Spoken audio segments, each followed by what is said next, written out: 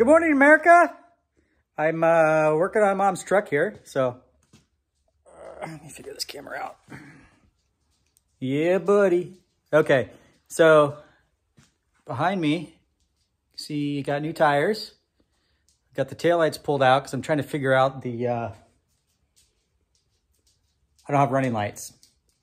And it's frustrating. But what I do have is power to the harness at the back of the truck. I don't have power to each of the lights, so I'm trying to figure that out. Um, and I did put a new ground, cleaned up the ground, got that going. Uh, but yeah. Got these bad boys, some Nexen Roadian uh, AT Pro 8s or whatever. Love these tires. I've used them on my Suburban, got them on my truck, got them on my brother's truck. Um, they last a heck of a long time. They ride really quiet. Good in the snow, good in the rain, dry, awesome tires. Um, got the old girl up on jacks. And then, uh, whoop, look at that.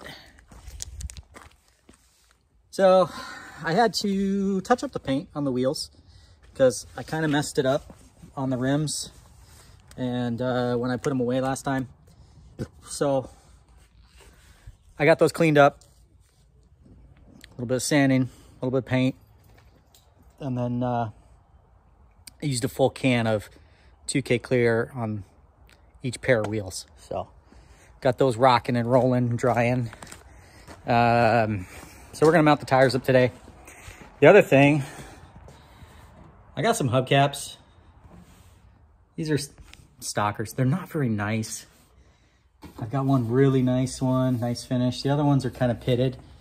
Um, so I think I'm going to, I'm planning to go to the Portland swap meet and see if I can find a nice set of uh, earlier stainless caps, if not a nicer set of these. But, uh, whoa.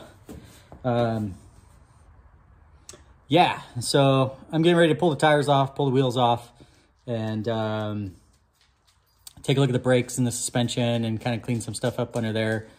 I just wanted to give the wheels a good couple hours to cure before I threw them on the tire machine and got them all mounted up. But uh, um, progress.